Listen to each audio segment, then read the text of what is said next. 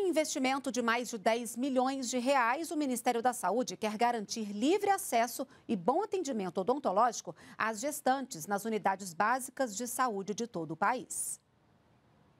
Gestantes devem dar mais atenção à saúde, afinal, carregam outra vida. Por isso, além de consultas periódicas de pré-natal, também é necessário fazer o acompanhamento odontológico, o que evita problemas de saúde para a mãe e para o bebê.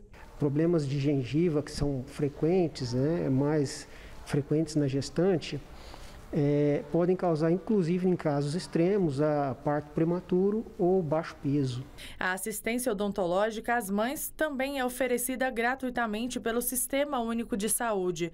A Ivone, que está com 24 semanas de gestação, fez a primeira consulta nesta unidade básica de saúde em Brasília. Além de ser avaliada pelo cirurgião dentista, ela também recebeu orientações e saiu de lá satisfeita com o atendimento. Para mim foi muito importante Aprendi muita coisa. Um problema na, nos dentes pode causar um parto prematuro, né?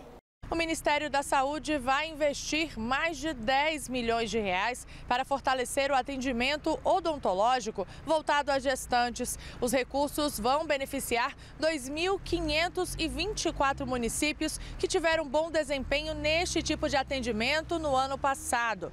O investimento é parte do Plano Nacional de Garantia do Pré-Natal Odontológico no SUS, lançado neste mês. O recurso poderá ser usado na melhoria do atendimento à gestante na compra de materiais e na capacitação de profissionais. Só em 2021, o Ministério da Saúde destinou 37 milhões de reais para a melhoria do pré-natal odontológico no SUS